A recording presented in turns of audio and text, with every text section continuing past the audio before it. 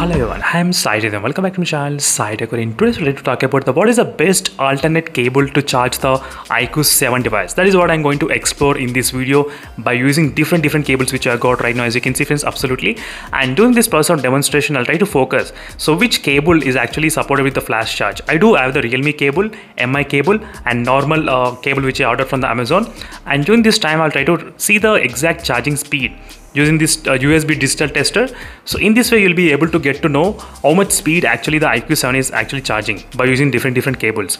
So a lot of users did also ask me the what are the other alternate uh, chargers for the iQOO 7 device. I'll try to make another video on that particular topic, friends. So stay tuned for those videos. So first, let's get started with this kind of testing. So this is going to be really very interesting and very challenging. So first thing is that I'll try to use a default cable. So this is a default cable which came along with the box, which is a 66 uh, watt cable only. I'm trying to use right now in the in the testing, as you can see, 66 watts. Let's see how much uh, the 66 watts uh, can actually charge the phone with what kind of amperes. So in this way, I'll be able to test one one cable, and I'll try to explain you which cable actually supports completely. That is what my main motive of doing this video and using this uh, default cable and right now it's showing kind of close to I think uh, sorry for this that and it's showing I think let's see what is the amperes it's kind of showing. 2.92 as you can see 2.92 amperes is showing. And the volts you can see 7.90 volts. And it's showing flash charge absolutely because I'm using the original cable so this is how it shows.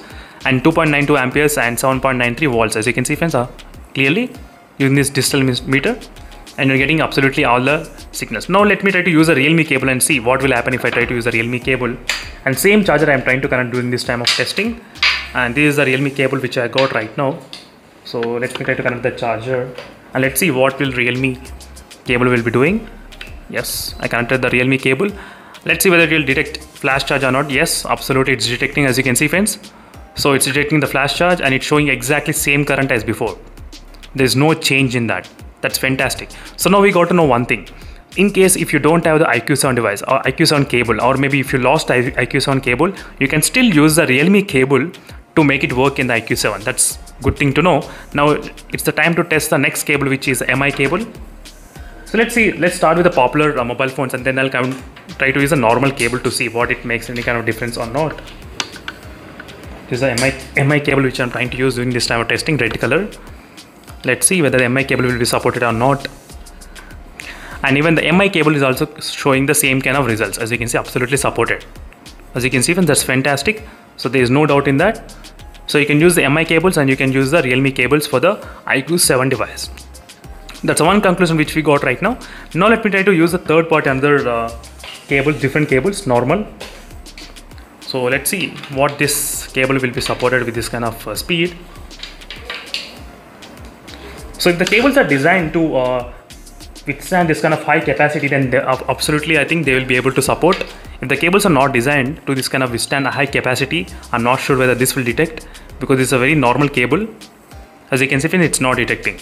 It's completely stopped. You're getting exactly off, I think 1 amperes. It's not supported. As you can see, friends, at this moment, it's not supported. It's not showing any sign. So this kind of cables are not supported uh, as you can see clearly. And let me try to do the last test using the Realme cooling clip cable. This is a Realme cooling clip, small cable which I got. I don't know even this one won't support so now we got to understand that the MI cable and the Realme cables are absolutely supported in the iQOO 7 device. So even this one also won't support. As you can see friends clearly, this one also won't support. So this is a quick conclusion friends in terms of the iQOO 7 charging cables. So if you want to buy the alternate cable, better go for the MI cables or the Realme cables. Those will be only will be supported in the iQOO 7 device. I think uh, you got the answer exactly what you're looking for. And I'll try to make another video friends how to find the alternate chargers. So that is what a lot of people that did ask me what kind of different different chargers will be supported. I'll try to make another video on that particular topic and see in the next video friends. I'll stay tuned for more updates. Bye.